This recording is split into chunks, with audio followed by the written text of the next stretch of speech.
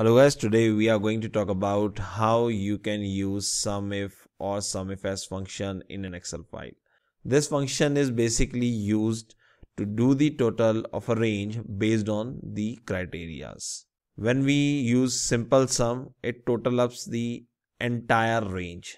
But when we have some kind of criteria, it could be date, it could be text, it could be numbers you can use this function to get the total and you can put your criterias. My name is Kapil, I'm your instructor and I'm going to explain this function with different examples. If you want to connect with me and if you want to learn more about Excel, just subscribe my channel and you can check out below description for more information. Let's start. So here I have sales data from one of the company and uh, you can see it is listed date wise and I have sales rep in B column and country listed in C column and sales volume is listed in D column. Now I want to get the total of David, Kathy and Brian. So I can use SUMIF or SUMIFS function. So if you are using SUMIF function, you can use only one criteria in this function but if you have SUMIF s function you can use multiple criterias and you can get the total. So let's do it for one criteria at this moment. So you need to write SUMIF then range. Range is the criteria range. So in the SUMIF it is mentioned range okay? So if it is mentioned as sum range it means that you need the numbers. Range can be text can be date or can be number okay? So i'm just putting this range I can freeze this range by pressing F4 then comma. Criteria. Criteria is that what you want to calculate. Okay. So here I want to calculate all the sales related to David. So I'm putting in the inverted comma David. If you want to link this particular argument with the cell, you can just click on this. Okay.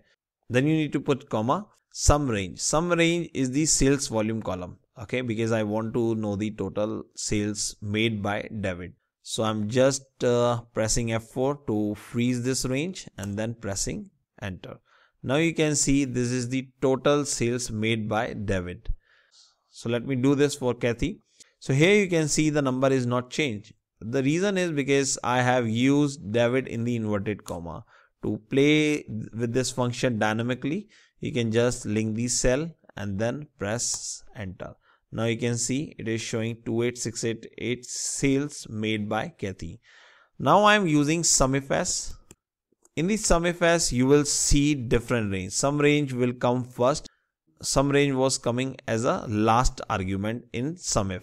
So sum range. Sum range will be this sales volume. Then you can put criteria range, then criteria, criteria range 2 and then criteria and so on. So you can use multiple criterias. It will work in the same sequence. Criteria range 1 will be this sales rep column. I can fix this by pressing F4. Uh, let me fix this range also by pressing F4. Then let me go back. Now put comma. Now you can see criteria 1 is highlighted. So here either I can write in the inverted comma Brian or I can link the cell Brian now i'm pressing enter. Now you can see it has calculated the sales. So that is how you can use sumif or sumifs function.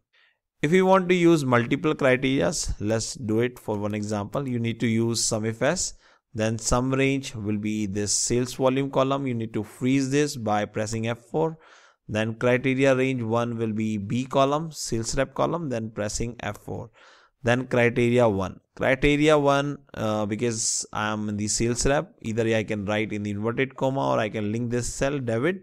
Then comma criteria range 2 criteria range 2 will be this okay? Then you can link it with the country and then can press enter.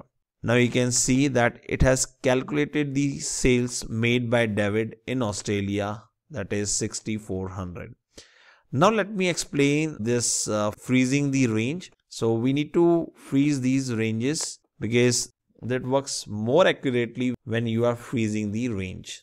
So here you can see F8 is not freezed and G8 is also not freezed. So you can see F is the sales rep column and G is the country column. So I should freeze the column only, not the row. Okay, 8 is the row, G is the column. Here also I need to freeze F column. Then I should press enter. Now I can drag it to the down.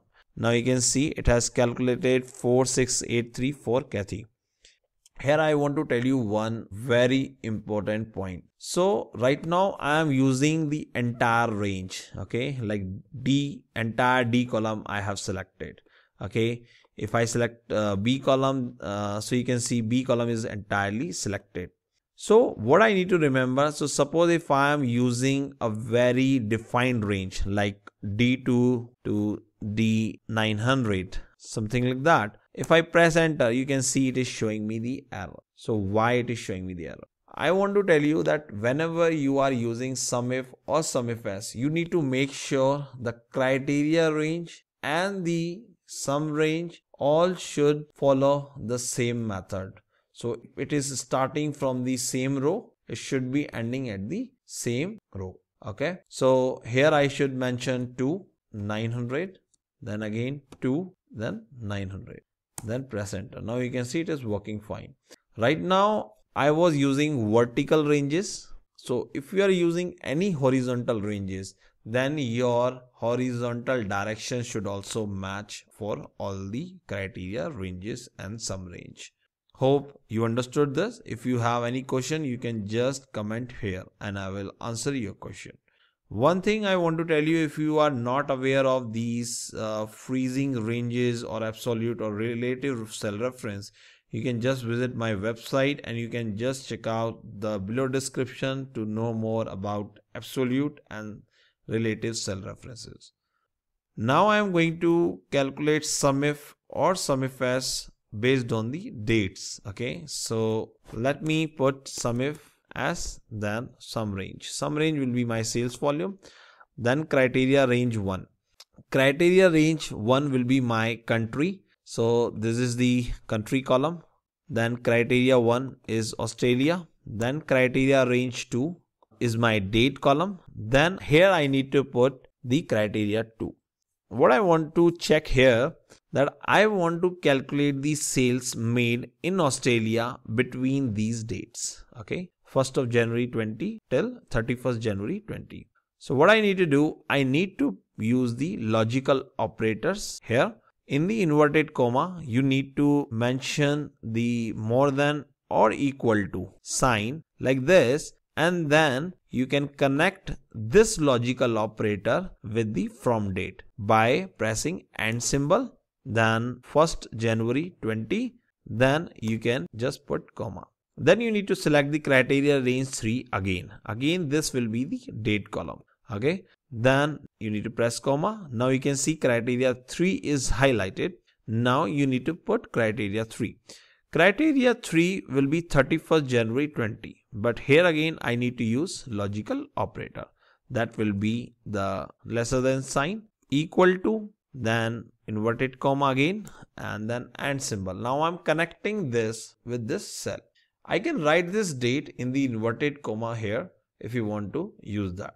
But I would always recommend that you use the date from the cell reference because if your date is not correct, you can see the error. Okay. So right now my system is set up on the DDMMYYYY format. So you should always remember your dates are correct and dates cell are in the date format. Now I am just pressing enter. Now you can see between these date, this is the sales. Okay. Now when I will be dragging this, so you can see it is showing zero. Why so? Let's understand this. You can just select this cell, press F2. You need to activate the edit mode and then you can see that my range is my criteria are selected as country as sales volume the reason is because I didn't fix the ranges. So let me do this. You can see the dates are in the 12th row. So I need to fix this 12th row dollar sign. Here also I need to put dollar sign and now I can press enter. And when I press Ctrl D, you can see that it has calculated the sales. So you need to remember these small things whenever you are using formulas. I will be creating a separate video where you can learn about what things you need to take care while copying and pasting formulas. Okay. Now I'm going to explain you that how you can use the conditional text criterias in this formula. So what I need to do, I need to put sum if s. Now here you can see sum range. I need to select sum range then comma now my criteria range 1 so here these three cells are denoting the country okay so it is just for example so singa you can see. Singa means that it is for singapore but i want to show you that how you can calculate it based on the conditional text statement. So whenever your text is starting from something and you want to calculate the total for that particular condition how you can do that?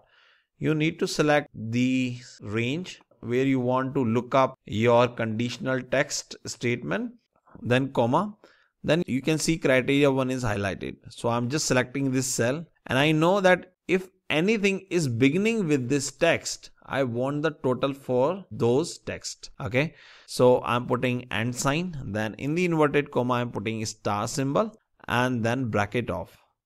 Now you can see it has calculated all the sales where it found that country is starting from SINGA. Okay. Now here I want to give you one more example like states. Okay. But uh, let me go back to this formula. Here I want to know the sales for David. So let me select this criteria range 2 then David I need to select in the criteria 2 and then can press enter. So you can see that David has made 3979 sales in SINJ means Singapore. I want to tell you that you do not need to follow a particular sequence for the criterias. You can put it here and there, but you need to remember that you are using it correctly. Now here I'm going to calculate these sales where the country name is ending with states. Okay. So let me use sum if s. Then sum range will be my D column. Criteria range is my C column. And then in criteria, uh, because it is ending with, so I need to use start in the inverted comma, then and symbol, then I need to select this. Okay. So because it is ending with, so I need to put the star symbol at the beginning. Okay. Then I can press enter. Now I can see this is the sales. Now let me put uh, one more criteria. Criteria range to the sales rep, then the David. Then I can press enter. Now I can see this is the sales. Now when you have a text like contains, okay. So how you can calculate that? Sum if s let me copy this formula you can copy this entire formula copy it and paste it here now what I need to do I just need to change this criteria because it is showing me the uh, contains so I need to use contains statement so what I can do I just need to remove h18 and I need to link this to this i18 and then use and symbol again inverted commas star. So at the beginning and at the end you need to put star if you want to use contains text statement. Okay? Then you can press enter. Now you can see the result. You just drag this formula uh, but here you can see uh, G18 okay it is containing the country so you need to fix this range 18 okay here also you need to fix 18 here also let me fix 18 now you can see the sales made by Kathy in different countries. Okay. SUMIF is not uh, case sensitive. So like you can see it is using Astral which is Australia and uh, here Astral is mentioned in lowercase. But here it is mentioned uh, at the proper case S is capital here S is smaller. So it is not case sensitive so hope you understood uh, this if you find any issue you can just comment here i can give you some more information about this. If you want to use logical operators so just look at here. So if you want to use greater than sign you can use uh, like this greater than and cell reference. Uh, here is the example. Lesser than you can use this. And uh, greater than n equal to can be used like this. Let me add one more statement here. Not equal to so if you want to use not equal to what you need to do just use lesser than and greater than sign in the inverted commas and link it with the cell reference. So that's how this not equal to can work. It covers all the criterias you can use this. For text you can use these. Like uh, if your text is containing something star at the beginning star at the end in the inverted comma and in between you need to mention the cell reference and begins with uh, you need to mention the end symbol at the end. Uh, for ends with you need to put uh, the star sign at the beginning and then cell reference okay? Not equal to i already explained this. So hope you like this video. Please do share this video with your friends and uh, give a like. And do not forget to subscribe my channel. Let's get connected and learn more. Thank you